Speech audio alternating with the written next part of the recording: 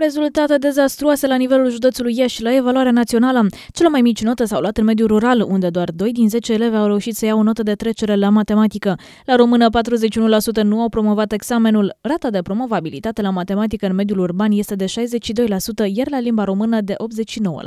În păcate, în mediul rural, notele la matematică se situează uh, pe un uh, trend descrescător în raport cu ceea ce s-a întâmplat în anii trecuți.